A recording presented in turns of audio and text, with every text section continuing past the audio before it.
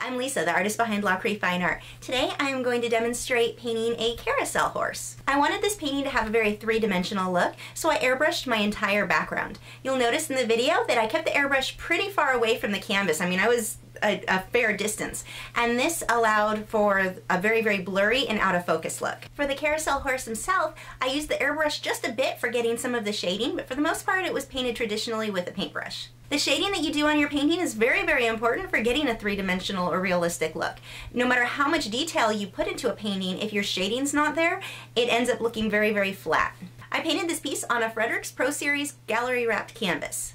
You can see the edges are painted so it'll be hung as it is without a frame, which is great because frames can get really, really expensive. So if you have a lot of paintings that you're getting ready for a gallery, sometimes having the gallery wrapped where they can just be hung as is is pretty nice. Like all Fredrix canvases, these are also archival, so you know your work's gonna last a lifetime. I have new painting and drawing videos every Wednesday, so make sure you subscribe and follow me on Facebook and Twitter to keep up with news and my newest work.